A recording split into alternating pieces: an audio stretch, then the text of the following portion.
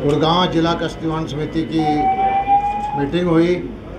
इसमें अठारह परिवार थे, जिनमें से नौ पुराने थे, नौ नए ऐड किए गए थे।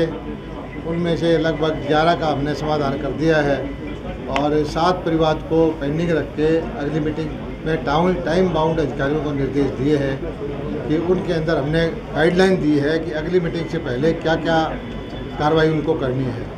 और मकसद हमारा यही है कि जनता की जो समस्याएँ हैं, जनता की जो शिकायतें हैं, उसको अधिकारी पारदर्शी तरीके से जो डेमोक्रेसी में हर जनता का हक होता है, उसको सुनवाई करें, लागू करें। और इसी तरह से हम को अधिकारियों को निर्देश दिया है।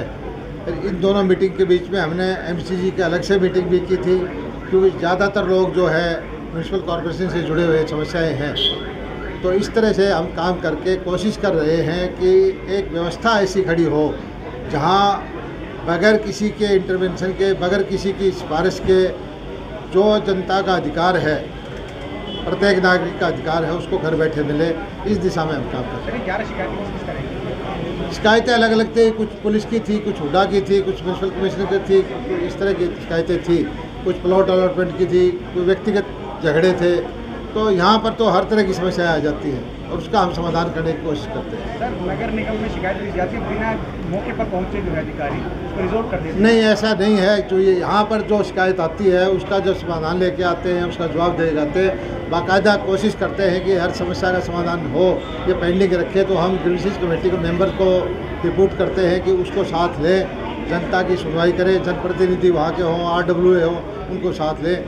और पारदर्शी तरीके से काम। करें सर नगर निगम में लिखित में ज्योति पार्क और न्यू पालम बिहार की शिकायतें दी गई। ज्योति जो जो जो शिकायतें आती हैं उसके अंदर स्पेसिफिक हम डायरेक्शन देते हैं कि अगली मीटिंग तक या उससे आगे तक कैसे कार्रवाई करनी है। इसमें इस कमेटी में कोई भी अधिकारी हमें गुमराह नहीं कर सकता।